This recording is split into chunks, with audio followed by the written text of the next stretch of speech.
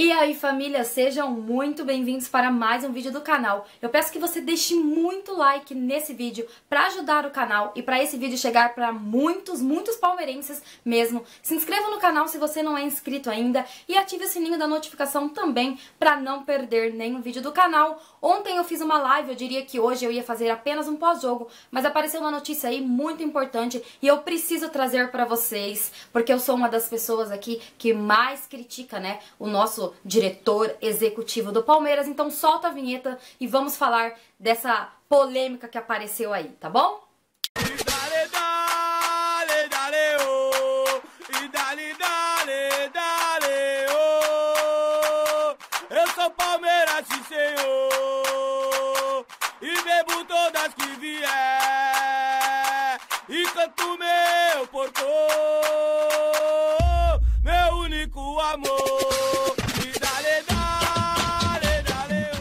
Gente, vocês vão me perguntar a fonte, né, primeiro.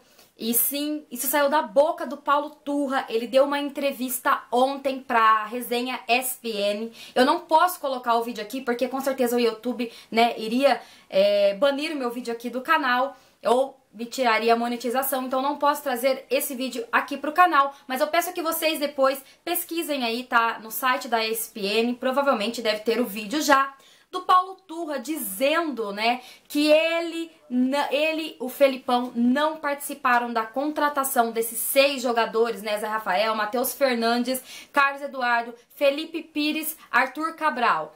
Ele diz, né, que o Matos, diretor executivo, ele fala assim, o diretor executivo chegou neles e falou que em janeiro chegariam seis jogadores.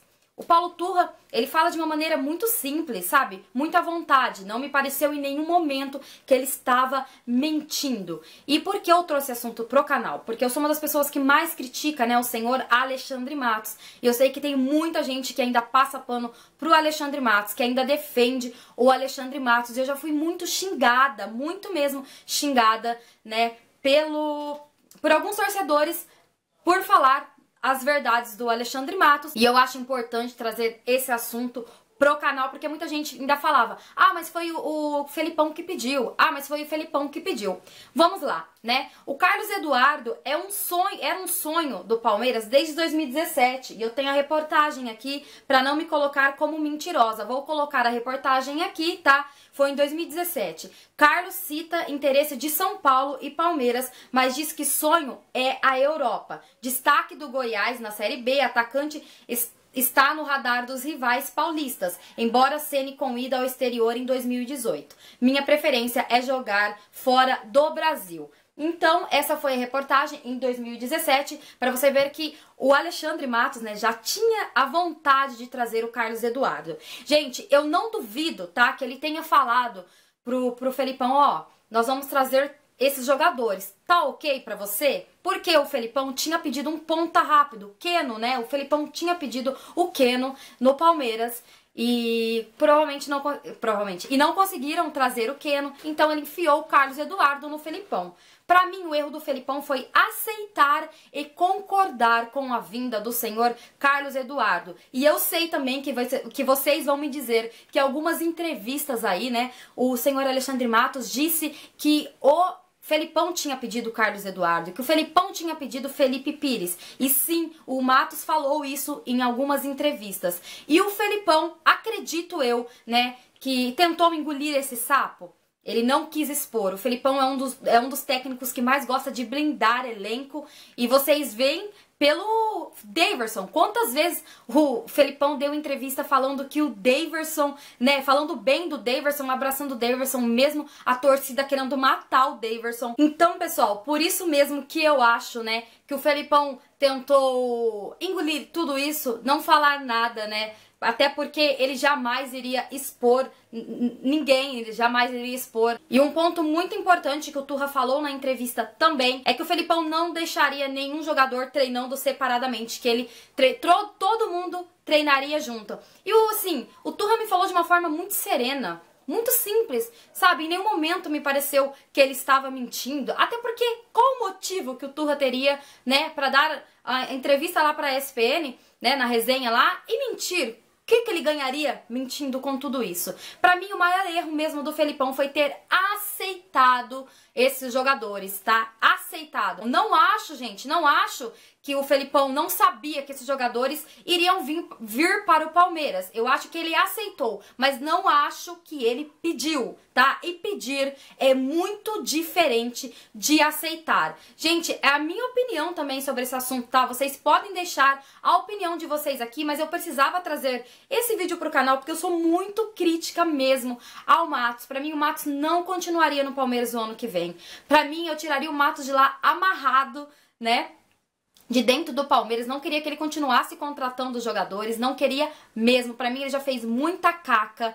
Mas, né, eu sou apenas uma mera torcedora. E infelizmente eu não tenho poder nenhum para tirar o senhor Alexandre Matos do poder e parece que o Bananote, até falei na, na live ontem, está bancando ainda o Alexandre Matos aí pro ano que vem, então vamos ter que engolir mais um pouco, pelo que tudo indica, né? Mas eu achei importante o Paulo Turra trazer isso, né? Falar isso, porque porque tem muitos fãs de diretor executivo, é isso mesmo, gente. Fã de técnico, né? Porque um dos maiores técnicos da Sociedade Esportiva Palmeiras, tudo bem. Agora, fã de diretor executivo é a primeira vez que eu vejo. Isso só acontece aqui na torcida do Palmeiras, mas também cada um com a sua opinião. Não vou, né, obrigar a você a ter a mesma opinião que a minha, só estou expondo os fatos. Ah, tem um detalhe: o Zé Rafael, o Matheus Fernandes, esses jogadores já estavam praticamente encaminhado quando o Felipão foi com foi contratado aí para ser técnico do Palmeiras. Então, por isso mesmo que eu acho que esse pacotão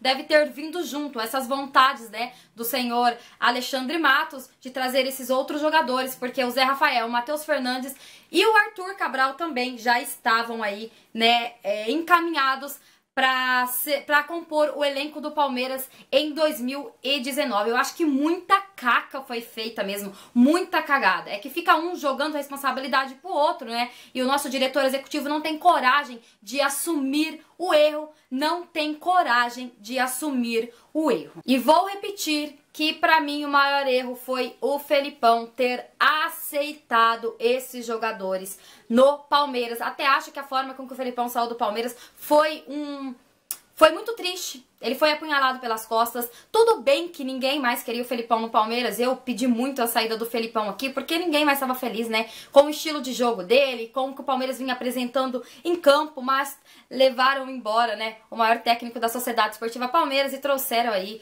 o Menezes que eu já fiz essa crítica também e esse não é o assunto principal aqui do vídeo. Era só, era só expor mesmo, né, o que o, o Turra falou. Eu peço que vocês assistam, tá? Pra não falar, ah, Cássia tá mentindo, gente. Procurem aí, tá? No site da ESPN e assistam essa entrevista porque ficou bem bacana, tá? Eu acho que vocês deveriam assistir e tirar a conclusão aí de vocês. Mesmo assim, deixem o comentário de vocês aqui, tá? Que é muito importante o que vocês acham disso tudo, é, qual a opinião de vocês sobre isso tudo daí, tá? Então, um beijo no coração de vocês, obrigada por ter assistido esse vídeo. Eu volto à noite com o pós-jogo aí.